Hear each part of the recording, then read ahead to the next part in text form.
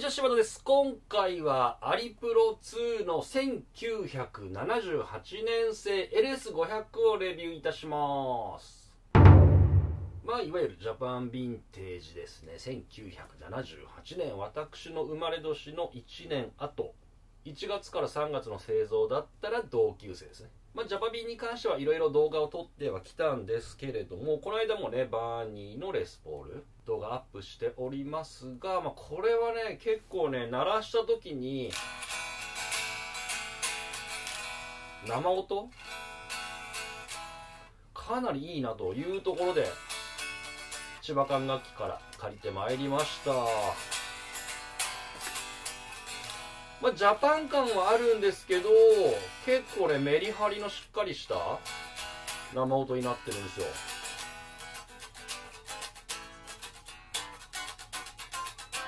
結構こうしっかりと範囲が出てピックアップ次第でミッドが出ればかなりいいねジャパビンレスポールじゃないかなというふうな感じがします。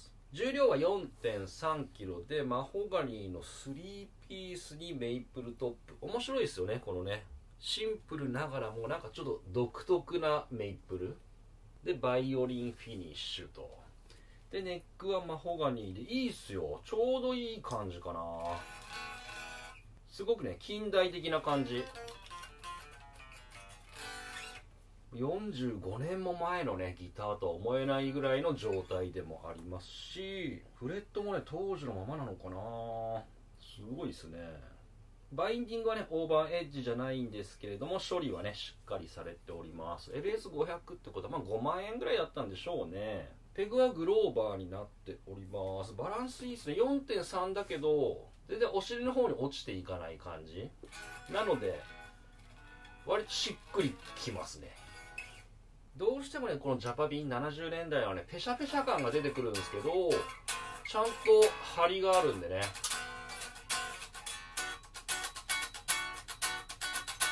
うん。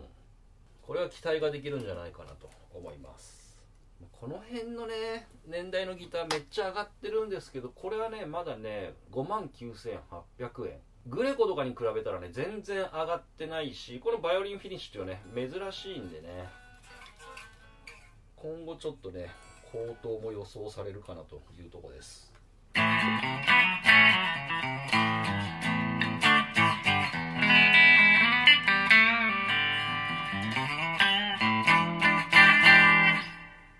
ではリアからいきます。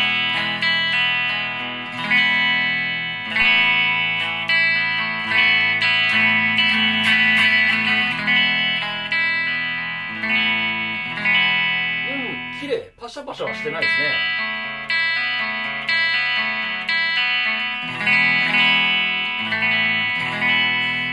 ギブソンほどのローは出ないけど。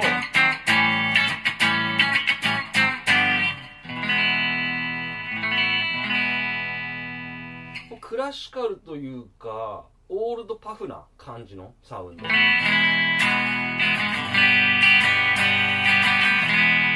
これバランスはいいですね。出力もねあんま強くない。ああ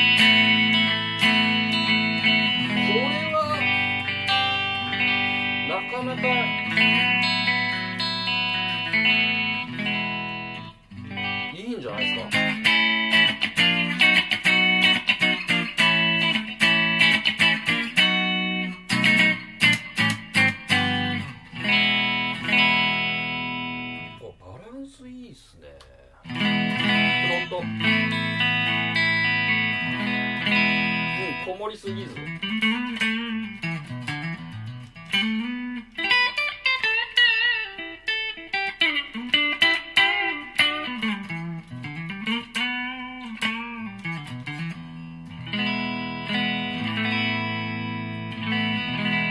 れ粒が粒がいいのかな？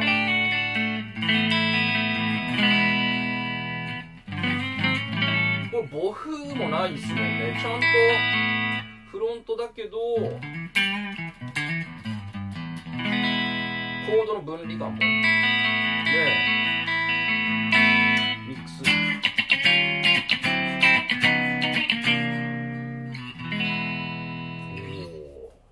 さすがっすね。というか使いやすい系のレスポールタイプ。ゴリゴリのパワー系じゃないんでまあオールド感があってこれはね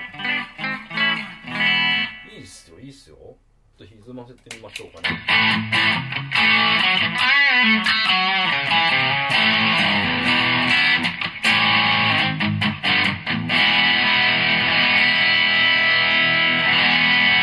ギブソンほどのジュワーはないけどオ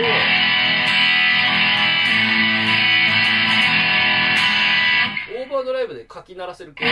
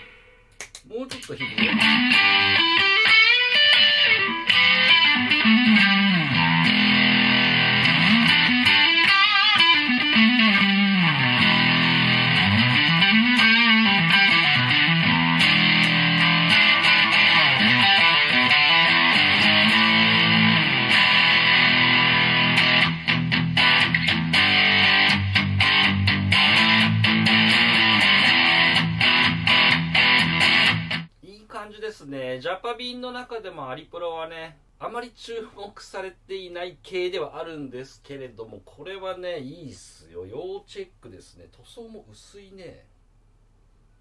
バランスがいいんで重量もそんな気にならないんですけど、まあ、この辺結構ね削れてる感じです。あこれフレット一回打ち替えてんのかな。まあ非常に状態はいいです。ネックもまっすぐですししっかりとした硬さもあるという風な感じですかね、まあ、お手頃なジャパビンレスポールをお探しの方はねアリプロもね候補に入れてもいいんじゃないかと思います。という風な感じでございました。ご視聴ありがとうございました。柴田でした。